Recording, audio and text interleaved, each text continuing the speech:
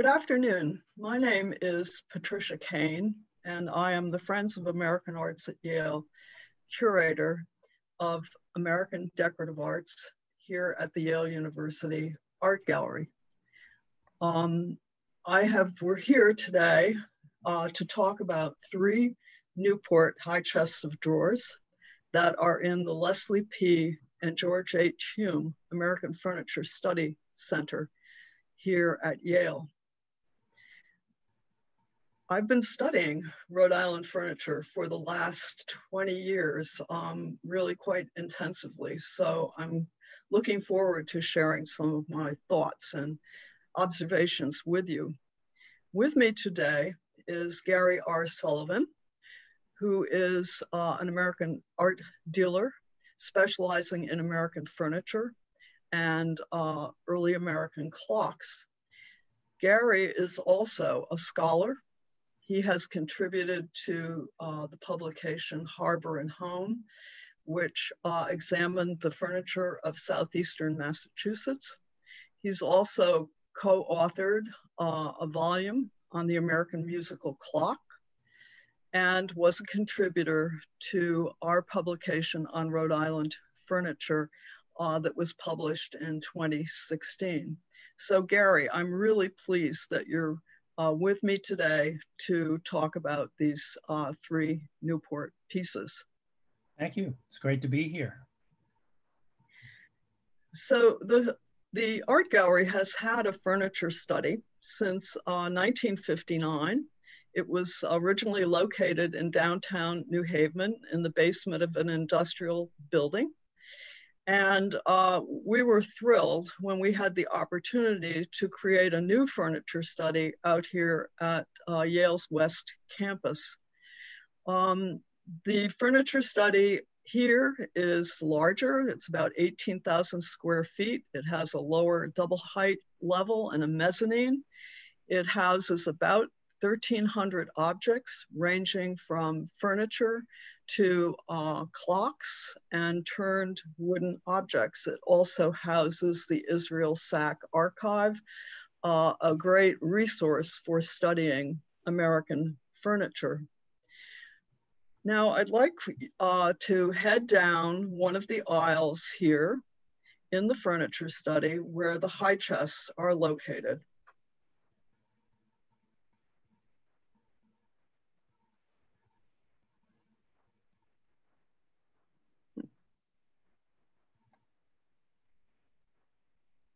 There we go.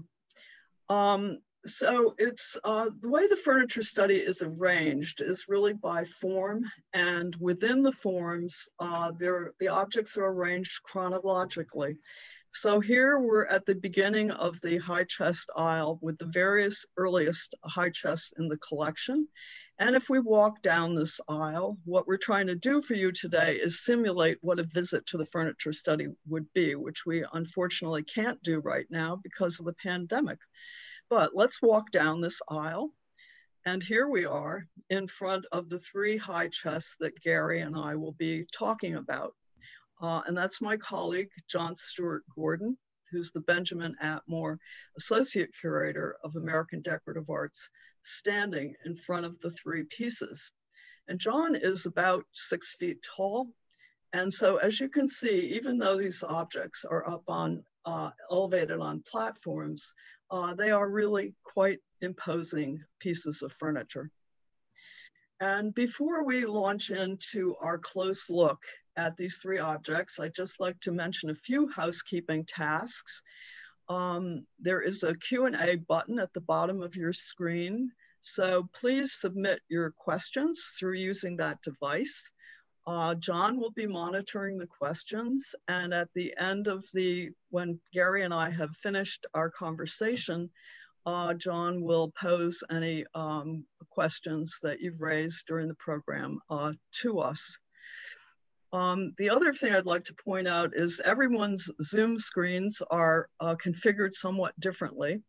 Uh, if our images, that is my image and Gary's image, are too large, um, if you hover over the vertical line that's between the uh, two panels of images, um, there will be um, a uh, button that will appear that will allow you to move to the right and make our images smaller and thereby make the objects bigger.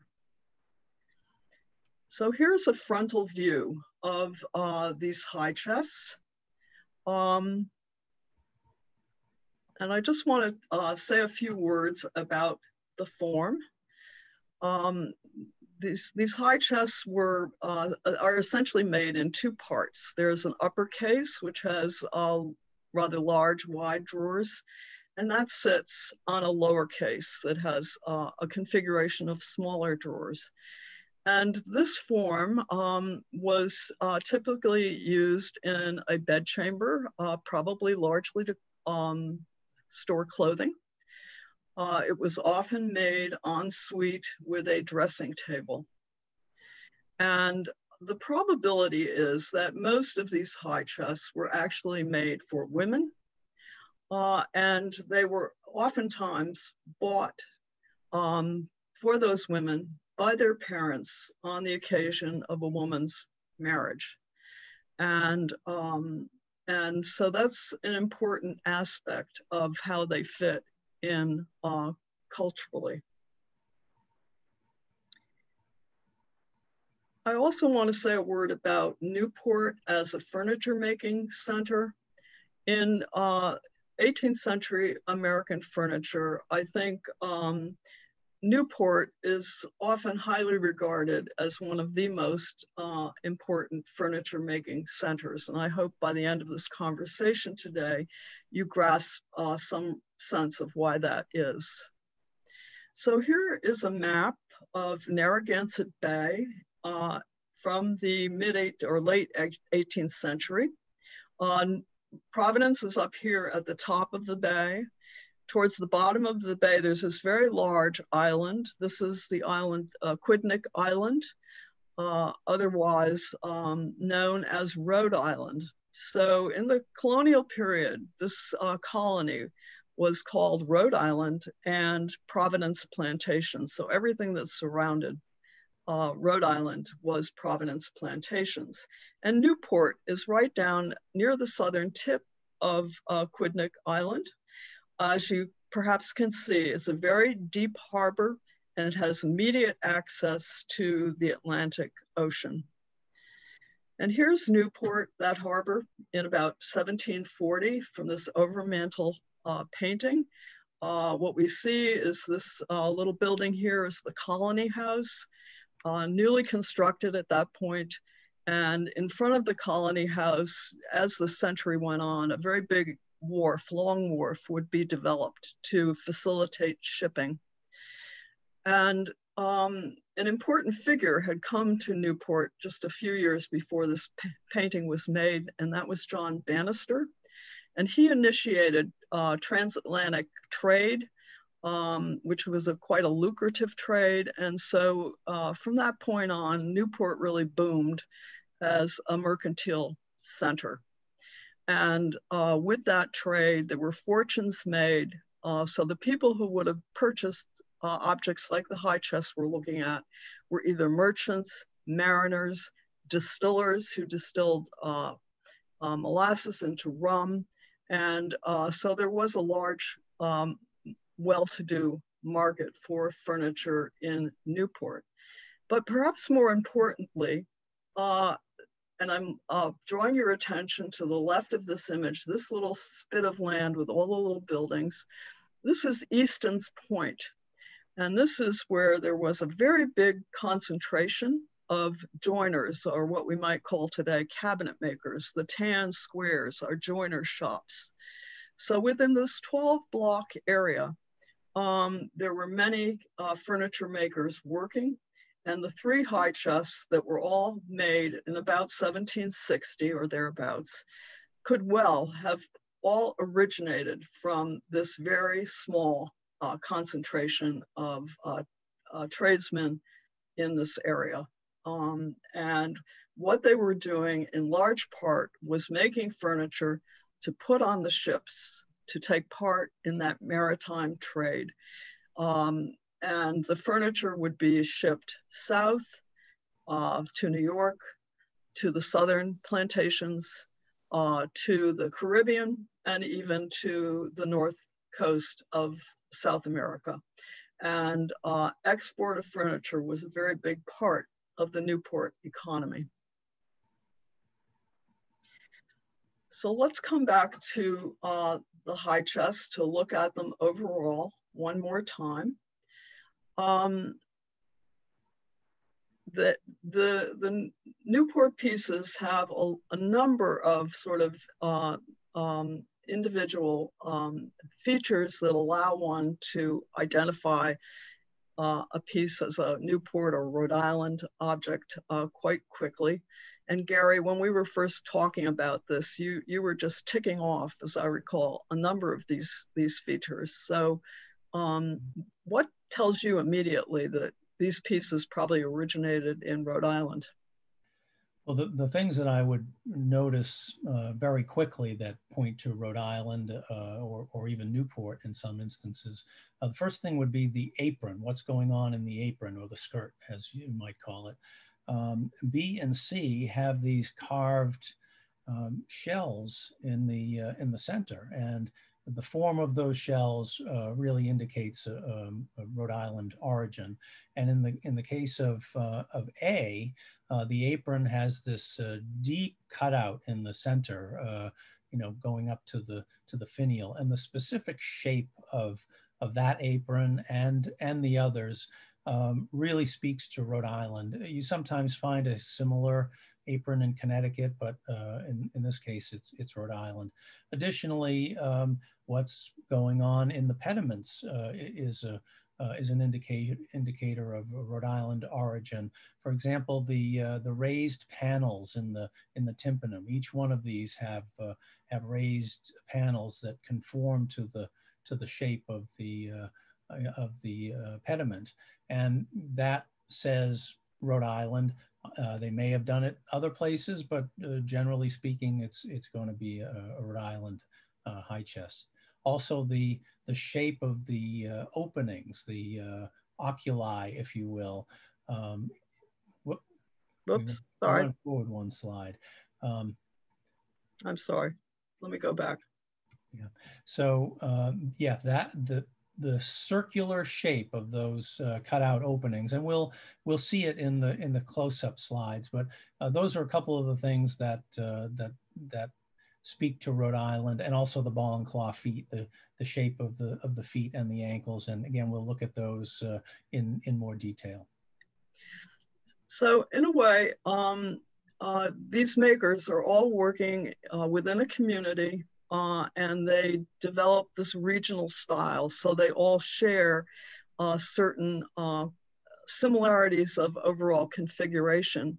Um, but as you'll see, they interpret um, particular um, features and uh, exterior features and construction features um, differently. And um, so let's progress and take a look. We're going to do this comparative looking working down from the top of the high chest to the bottom.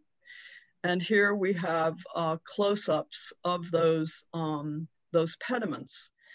And um, as I have compared these, I'm really struck by the fact that on A and uh, C, the shape of this cornice molding um, is, uh, has a great deal of height and lift um, more so than the cornice molding on B.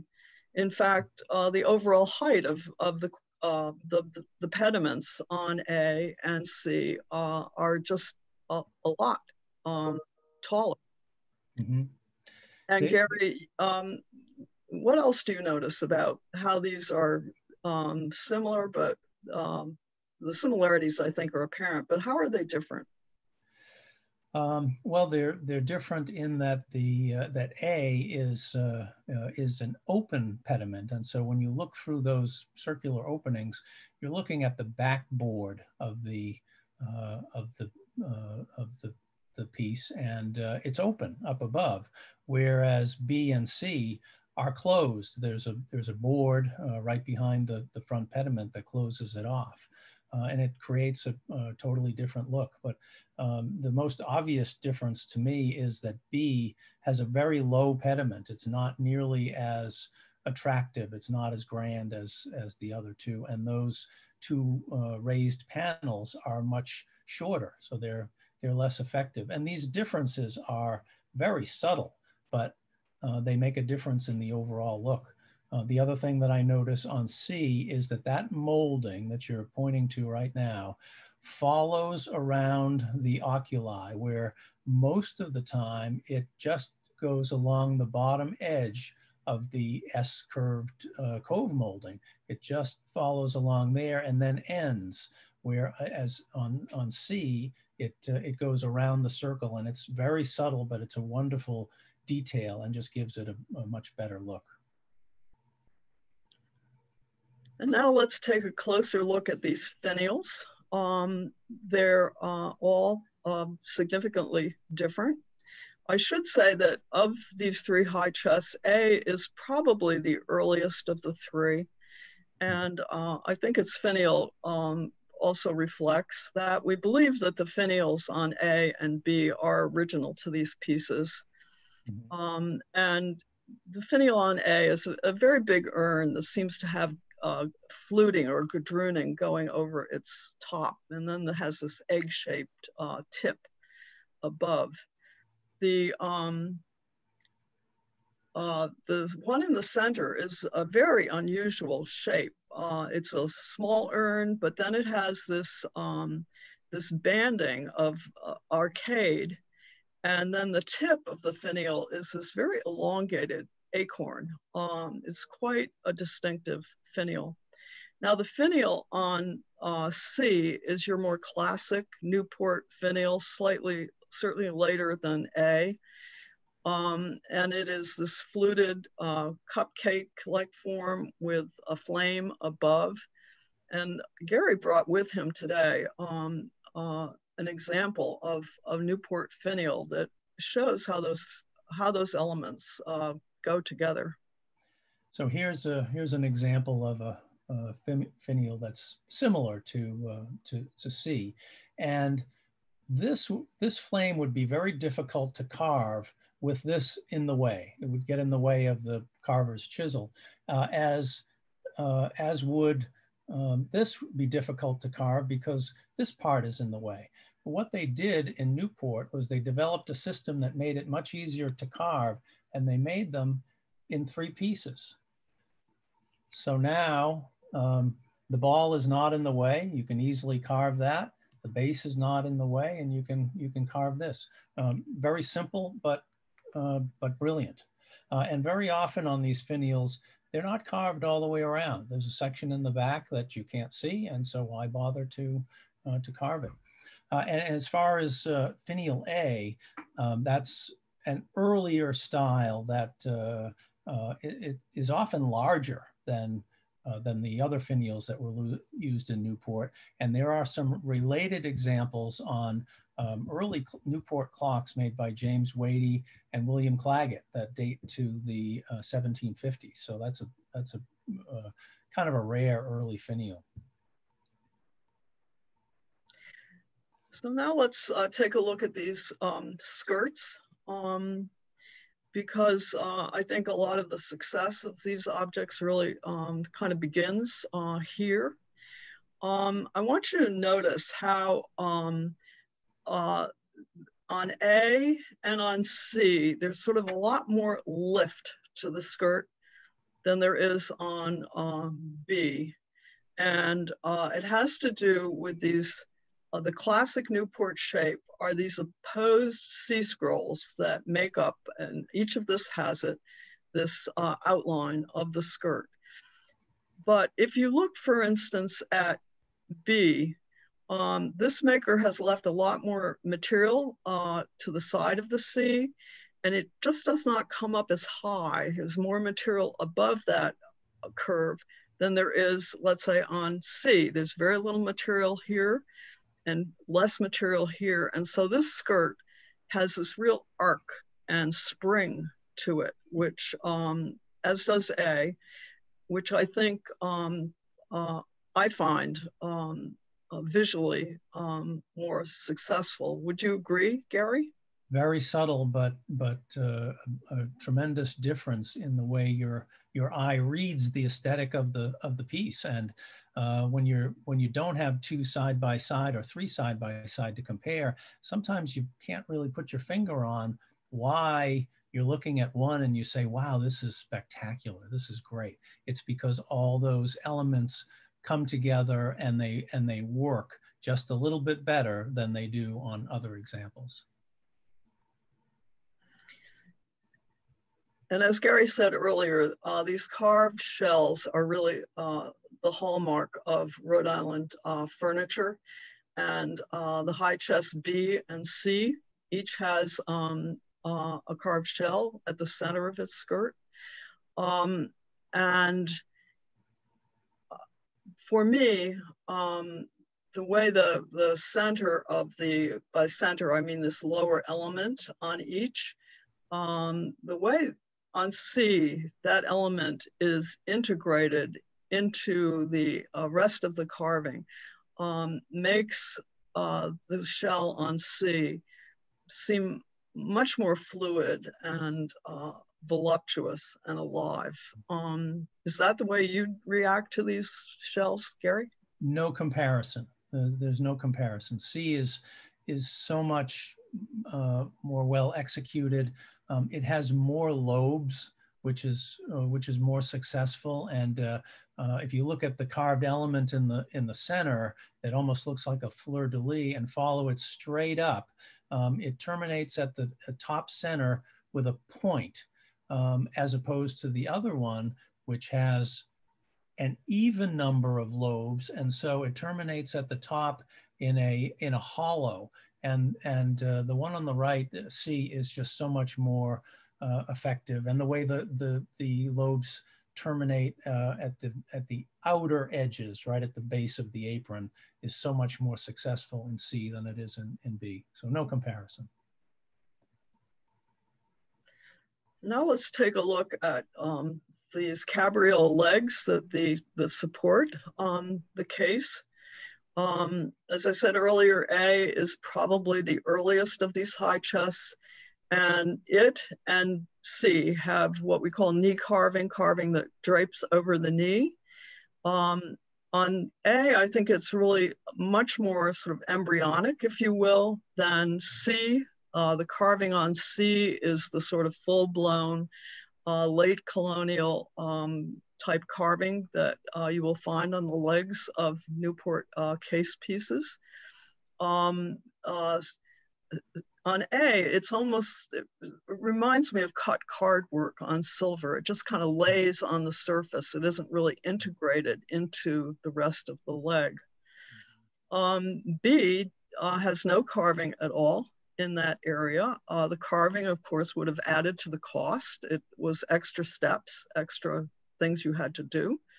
Um, and um, as I look at these three legs, um, C seems the knees of C, C of, a, of B, excuse me, seem to be a little chunkier, a little more stolid, if you will. Um, although the whole leg has a certain kind of vigor and robustness that I do associate with Rhode Island uh, furniture.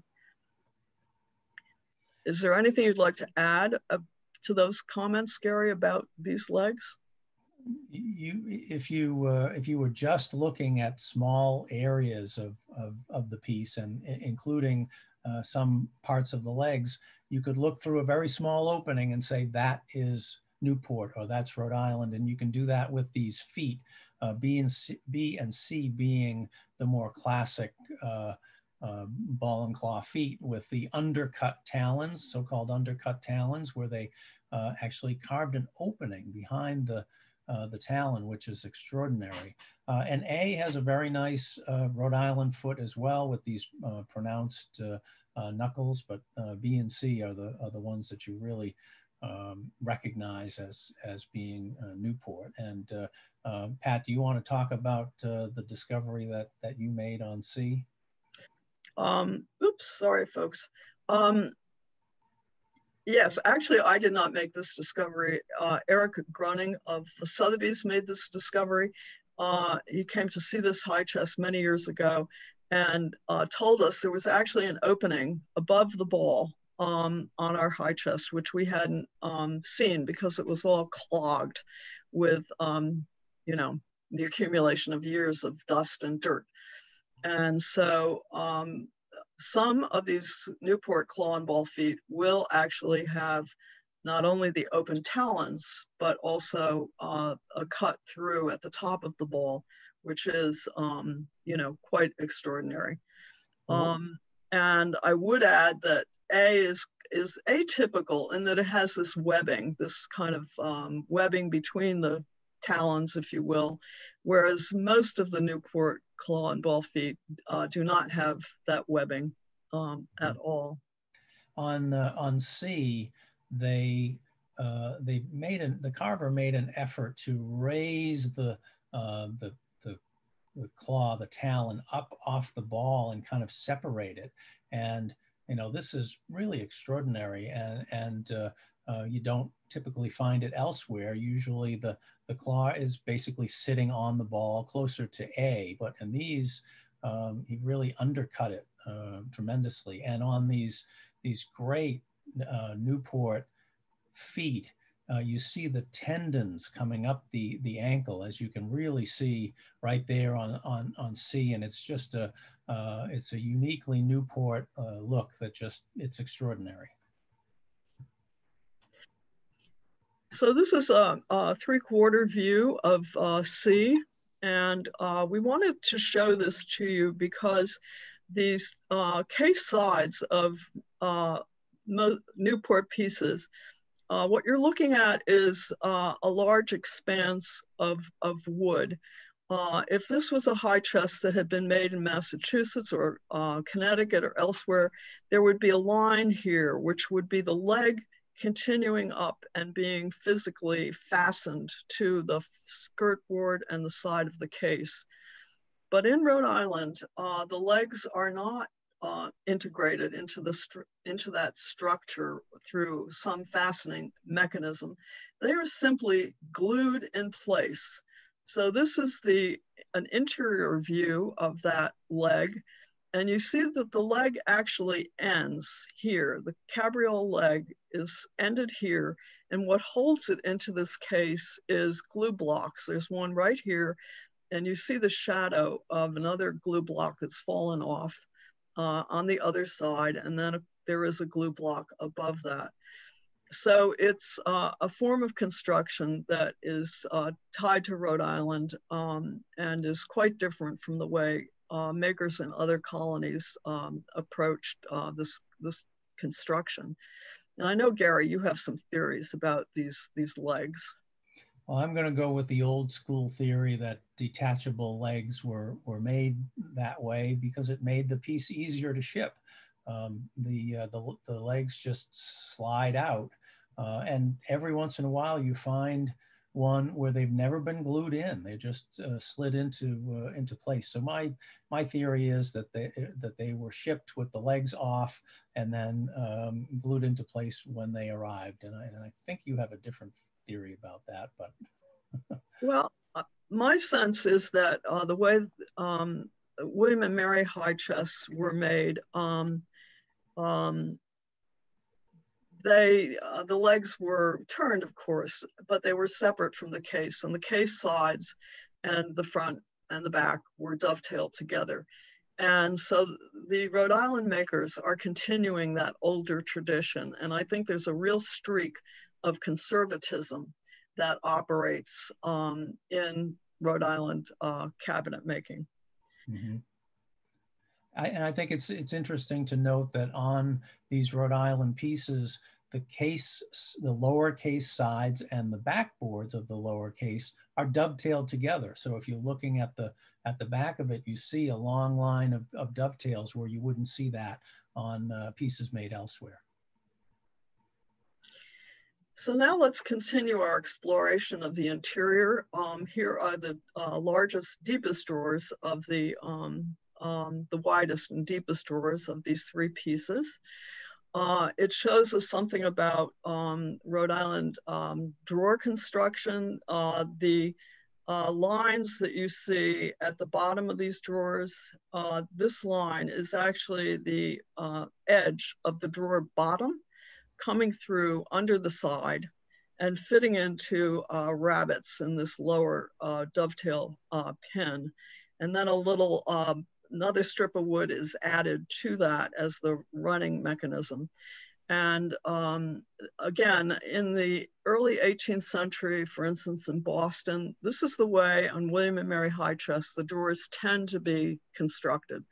And um, in most places, by the mid 18th century, cabinet makers have moved to um, having the drawer bottoms fit into grooves in the side. But the Rhode Islanders, um, not everyone, but by and large, uh, continue this older construction method.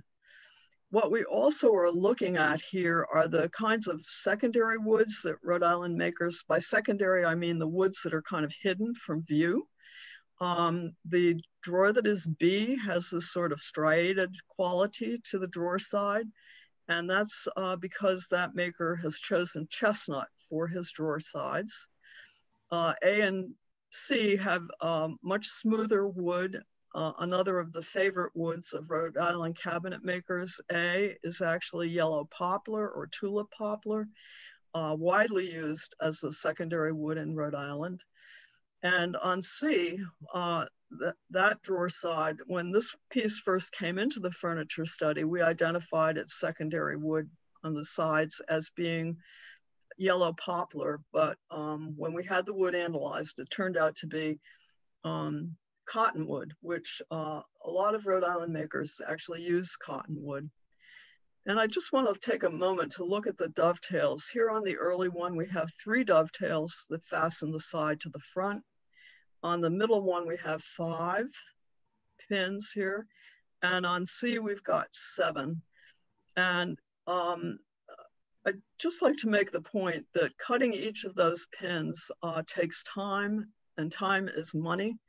And um, so the maker of C uh, really took, um, was willing to invest additional time in uh, the making of this piece. I'm not sure it made it uh, any more functional, um, but um, it demonstrates a great deal of care.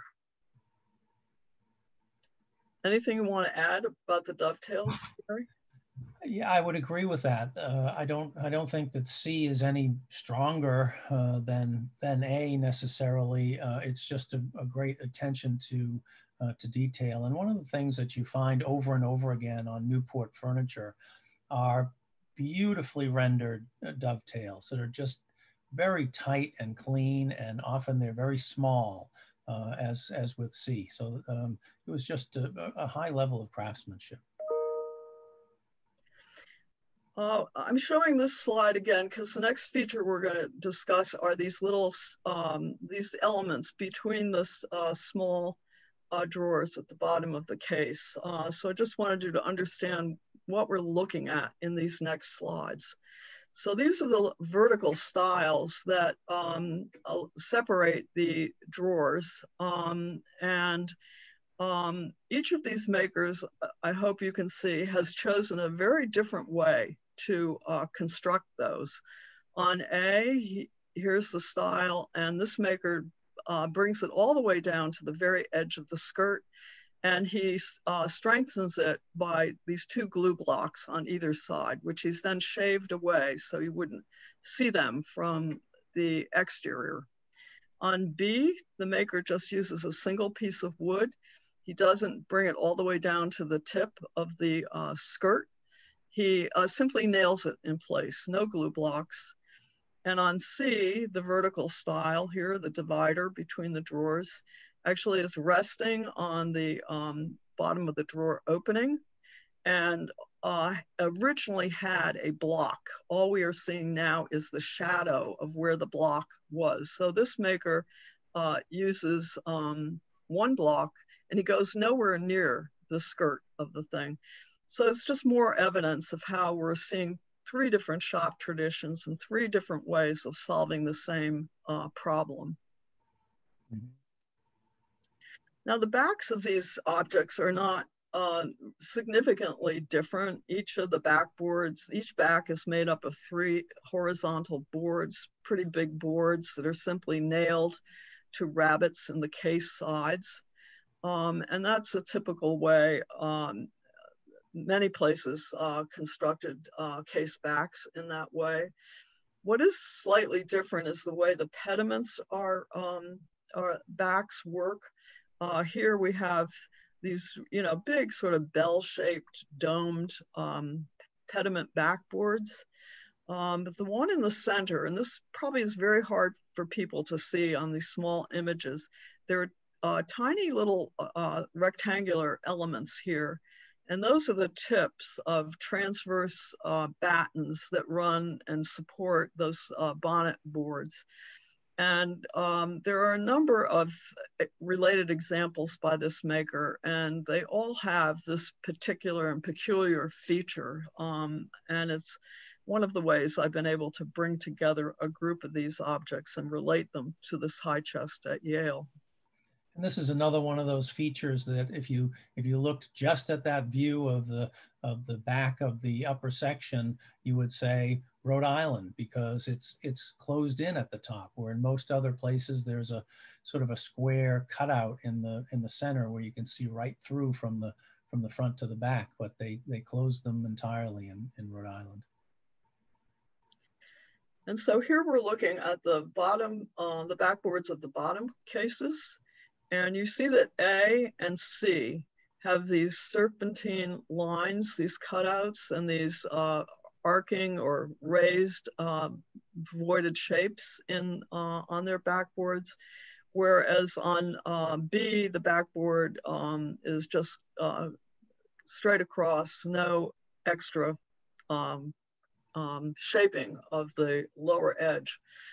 So you might say, so why, nobody ever sees this surface, it's up against a wall. Why go to the trouble of um, shaping uh, the bottom edge of those um, backboards? But as you may recall, um, when we looked at the front of the lower cases, A and C had a much higher sort of arc to the skirt.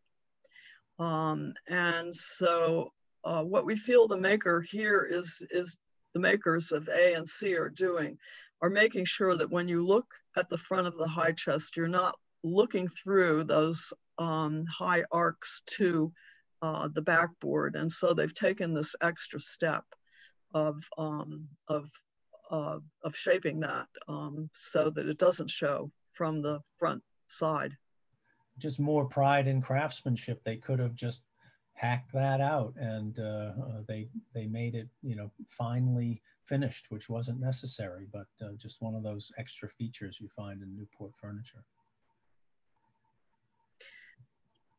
so uh, let's just take a, a, a look at uh, at these three objects um, overall again um, a, as I said, is probably the earliest of them. Uh, for one thing, its brasses are uh, smaller. They don't have the frilly, fussy outlines of B and C. Um, and it has what we've noted as the earlier finial. It also has the uh, center arc of the skirt, which is an earlier feature. Unfortunately, we do not know who made this high chest. Um, it's um, so far we haven't been able to um, decipher uh, or associate it with any particular maker. Uh, B is, um, I've been uh, working on uh, B and it's uh, quite a few related pieces. Um, and I think I know who made this group of high chests and other case pieces. Um, uh, unfortunately, the pandemic uh, has interrupted my research. I need to make another research trip and um, that's been suspended. So I haven't been able to finish up um, the article and um, and publish uh, those findings. Uh, but C, we actually is actually a signed piece of furniture, and I'm going to show you here the signature. Uh, in uh, one of the long drawers on the interior, it says made by John Townsend, Newport, 1759. And signed pieces of American furniture are really, really rare. Um, and Um, so when this uh, signature was discovered in the furniture study, we were really overjoyed. Um, John Townsend is, um, uh, I mean, he's a renowned cabinet maker um, in the panoply of, of uh, American furniture makers. There was a monographic exhibition of him uh, at the Metropolitan Museum of Art, uh, organized by Morrison Heckscher in uh, 2005. Um, and uh, so um, it's, it's wonderful to have um, um, a signed piece by John Townsend in our collection. And so, uh, Gary, um, you know, there's a famous grading system uh, introduced by the furniture um, um, dealer and scholar Albert Sack uh, in his Fine Points book, published in 1950, where he he graded pieces as good, better, and best. Um, so if you were going to grade these Yale high chests according to Albert's um, uh, grading system, how would you come out with them? Mm-hmm. Well, using his grading system, I would rate them all best. Uh, but um, if, if you asked me to rate these three uh, against one another, um, it's, a, it's a pretty easy uh, choice. Uh, my, uh, my vote would be C, is, is hands down the, the finest of the uh, uh, of the three. And there's a reason that John Townsend is so revered as a as a cabinet maker. Um, his attention to detail was was amazing. So um, if if if I were to compare B and C, which are the most similar because they have the the um, uh, they both have the carved shell, um, just sort of going from top to bottom. Um, I can point out the, the features that I think make C uh, more special. So we, we already talked about the uh, how high the the uh, the bonnet is on C as opposed to B. That's a big difference. Um, the uh, the size and shape of those those panels. Just compare the uh, compare the two of them between B and C. There's no comparison. That little molding that runs around the oculus. Um, the fact that C has three finials rather than than one, um, I just think that uh, that three is a more appealing uh, look, even though some of them only had a single finial in the in the center. Um, I like that there's a uh, that there's a, a fluted uh, plinth below the central uh, finial um, rather than uh, a plain one like uh, like on B, and the finial is is raised up higher. I also like that the background in the uh, in the the uh, cutouts there. Pat, maybe you could use your pointer as um. I'm sorry. Yeah. Um, so that that surface is actually uh, intentionally darkened. It's it's painted or stained black, which uh, which makes that negative space really uh, stand out, and it gives you the uh, shows you the shape of the of the oculi, if if you will. Uh, and moving down the uh, the case, uh, actually, if you if you just sort of compare the two, the, the shape of them and the proportion, just sort of stand back and let your eye go from one to the other. C is so much more pleasing. It's got more lift. It's narrower. Everything about it is uh, is more appealing. And these differences are so subtle. But when you have an opportunity to compare two pieces that are as close as these, you really see the difference. Um, moving down the case, uh, the graduation is better. The graduation of the drawers is better in C. So uh, the difference between the height of the lower drawer in the upper case and the upper drawer in the upper case is more dramatic in C, which is more pleasing to the eye. So look at the, look, compare the height of that top uh, it's a it's a split top drawer, so those are actually two small drawers. So compare the height of, of those drawers in C uh, to B uh, tremendous difference. Um, the uh, C has quarter columns in the in the upper case in the the whoop, in Sorry. the uh, in the front corners. It's a little difficult to see, but uh, that's a that's an added feature right there. There are quarter columns in the in the case. Uh, moving down to the to the base, we already talked about the difference in the in the shells. Uh, C has more lobes, it's better executed. Um, the, the shape of the, of the apron is more pleasing. Um, and then moving down the, the, the leg, C has wonderful carved uh, knees, uh, which which add a, add a lot, and the and the way the feet and ankles are executed in C is is extraordinary. So uh, so if those would seem to be the two logical uh, choices, um, I pick uh, I pick C, which is probably no surprise to, uh, to, to Pat, but you, you might be surprised at my second choice, which you might think would be B because it's got the carved shell, but it's, it's actually A.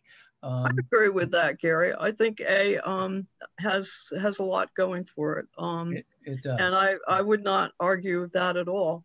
But you know, I think uh, there are a lot of questions out there, I'm told. So I think it's time um, to uh, John Gordon, as I said earlier, has been um, monitoring the questions. So, um, John, um, since there are a lot of questions, can you um, pose some of those to us? Yeah, uh, let's start with a maybe a triple barreled question because it's a question we get a lot in the furniture study. It's one of my favorites. And Gary kind of hinted to it because in his um, extolling number C, he mentioned height a lot. And uh, people are curious about why these things, why is a high chest high? Um, why not make shorter legs so you can actually get into those top drawers? And what would you have in those top drawers? I'm going to let you answer that one, Pat. Well, I think um, the high chests are high because uh, they're not about function. They're about um, making a magnificent uh, presence in a room, uh, a presence that had uh, certainly architectural features um, that could even have echoed some of the uh, paneling of a room. And so uh, the goal here, I think, was to make uh, a magnificent object and not just a functional object. And I'm sure in those top drawers, you probably put things that you didn't need every day and in the drawers that were easily within that you could look into and know what was in there um, that's where you put the things you used um, more frequently and in fact it's quite typical for those lower drawers to, to exhibit a lot more wear than the upper drawers the very tip top drawers and it's actually common for the top drawers to be locking um, so they put special things in there. So uh, A, you can see that the uh, uh, the, the um, pulls for the top drawers are actually escutcheon pulls. They've got the holes for the uh, for the uh, for the lock, uh, and that's why they're placed up at the top of the of the drawer because the lock dictated that that's where they needed to be. I actually had to take apart B yesterday um, to have this photograph taken and um, I was surprised. I had forgotten that those top drawers also lock, but you cannot see a lock from the outside. Mm-hmm. Um, and so, would you, either of you uh, who know what I'm talking about want to share this little, very cool design detail with the group? Go ahead. Yes, actually, B and C both have what are called Quaker locks on those uh, two small drawers at the top of the case. And so the uh, the upper of the wide drawers uh, does have an escutcheon. You could lock that with a key. And then if you open that drawer and you reach in, you're able to um, push up this little latch. Usually they're um, sort of strips of hickory or wood that has a lot of spring to it and release that. And then you can open uh, the drawer. And what it allows those two pieces to do, which is not true of A.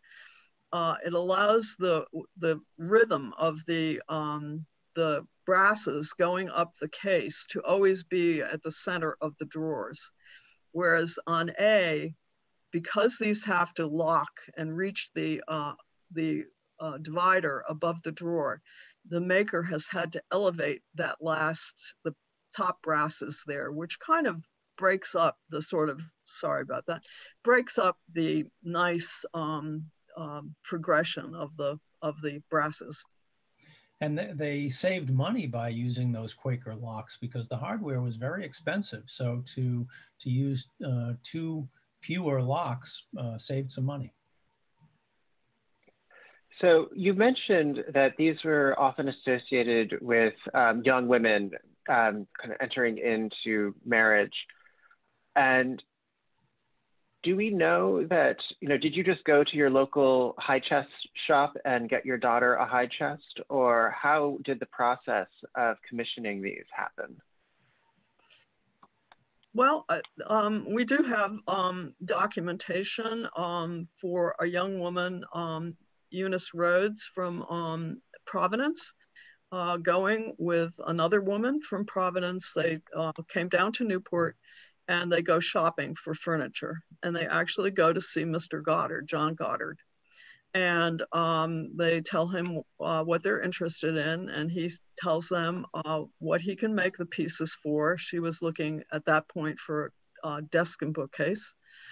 And she says, Oh, that's a very dear price you're quoting me. I think I'll go and see what others can do. And she does that. And she says, You know, but if I, um, you know, I may come back. And indeed, she comes back. So um, there's an instance of, um, you know, a young woman uh, on the verge of marriage, actually, and her new husband is actually the one who's paying for this furniture. Um, and so um, she goes shopping herself. Um, I have another uh, documented case of a high chest owned by a woman. Um, and um, I believe her parents, um, they do not live in Rhode Island, they live out of state and through a family connection, I believe they go to a family member to uh, order her high chest and a dressing table. And so I'm sure it worked in different ways. And I don't want to say that every single high chest was um, made for um, a, woman um, on the verge of marriage, but I, I do think it is the, the very important strain in how these objects uh, came into being. There's a lot of interest in um, the secondary wood, and people are um, curious how how the various woods get chosen. Um, is there consideration? Is it the cost? Is it the density? Is it the availability? Uh, when a cabinet maker grabs that piece of wood, what are they thinking? Well, I, I, I think the uh, the availability is is important, and and cost plays into that. If it's plentiful uh, in your region, it's going to be uh, it's going to be more affordable. But uh, they also chose woods uh, according to how they could work them. Some woods were easier to work work than others. So you may want to expand on that, Pat. Um, since I've never worked wood, I, I don't know that I can expand on that, but uh, the other wood I didn't mention that we find a great deal in, in Rhode Island furniture is pine. Uh, you find that throughout the colonies as a secondary wood. Um, but for instance, in Massachusetts, uh, uh yellow poplar really doesn't grow much further north than, than Rhode Island and Connecticut. So you don't find it because it isn't uh, a local wood in Massachusetts. Um, and I think chestnut and cottonwood must have been very plentiful in uh, Rhode Island, certainly also in chestnut in Connecticut. You find it a lot in Connecticut furniture and in Southeast uh, Massachusetts furniture. So I think uh, for the secondary woods, they're really uh, drawing on um, the local uh, economy and, and what um, people harvesting wood are making available. One person asked a really interesting question, at least to me, um, about chestnut because there is a visual similarity between chestnut and oak, and oak is more often found as a secondary wood in English furniture. So um, he's wondering, is there a relationship between, um, could you, is there a relationship between you know, the English use of oak and the Rhode Island use of chestnut? Is it an English tradition that gets transplanted? Is it English heritage of the cabinet maker? I wouldn't.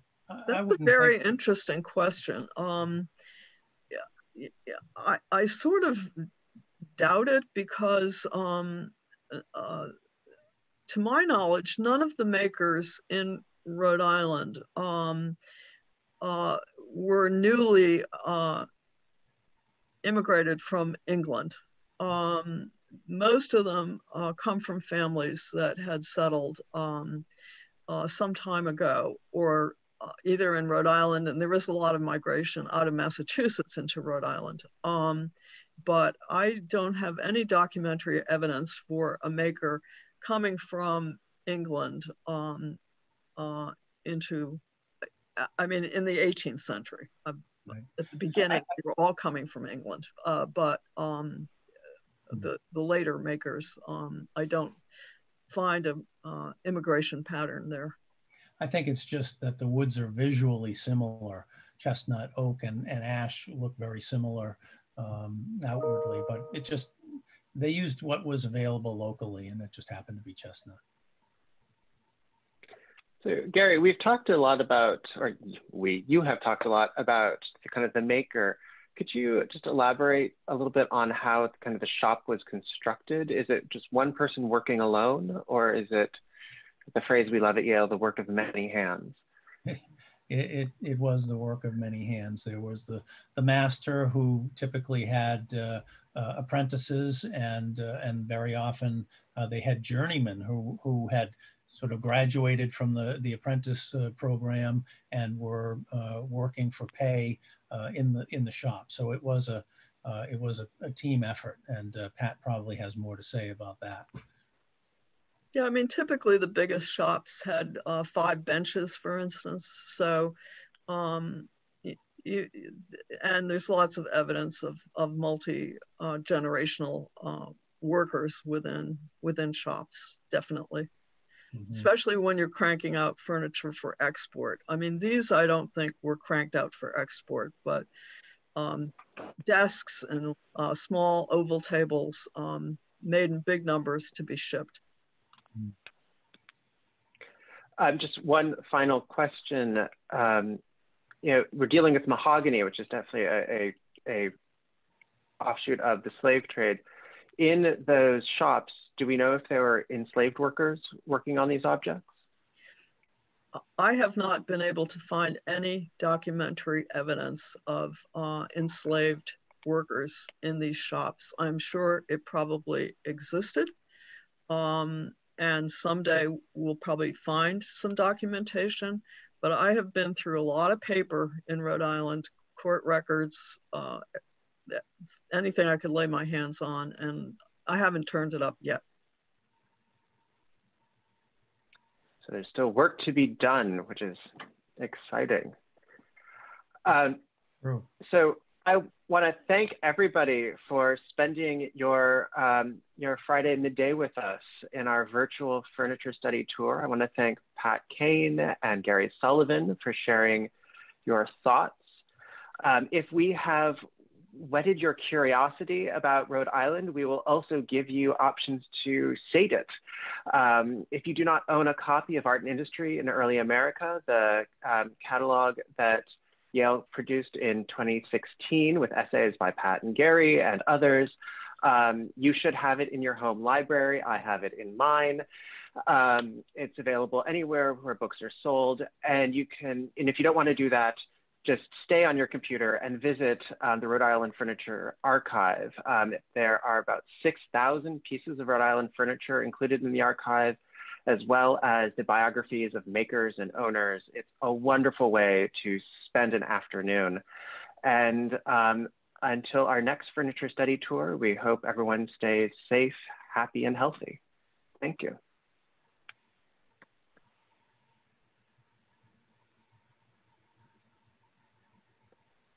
Oh, and I also supposed to tell you, this is recorded. and um, if you want a pre uh, reprise next week on our YouTube uh, channel, uh, look for look for our furniture study tour of Rhode Island furniture. Thank you.